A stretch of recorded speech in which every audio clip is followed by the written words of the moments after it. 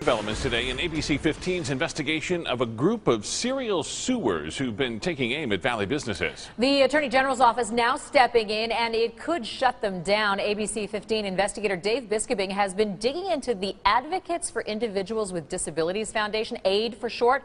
He's been doing it for months. He's on assignment today and joins us by phone. And Dave, what does today's development really mean? Well, AID has sued more than 1,500 businesses for alleged ADA violations and to settle, demands thousands to settle. And now the AG's office is essentially saying, hey, wait a minute, ADA compliance is not your job, that's our job. Now, the AG's office just intervened in a case this afternoon. Basically, that means they inserted themselves into the lawsuit and are challenging AID's authority to mass file these cases. In a motion, AG officials said AID is trolling for lawsuits and shouldn't be allowed to get fees. They even said it appears they are doing this for their own enrichment. And right now, in a typical case, aid is often demanding $7,500 to start from businesses.